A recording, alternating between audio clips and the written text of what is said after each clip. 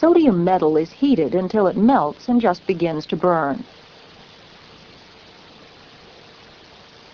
Then it is immersed into the yellow-green chlorine gas. The sodium begins to burn in chlorine with an intense yellow flame.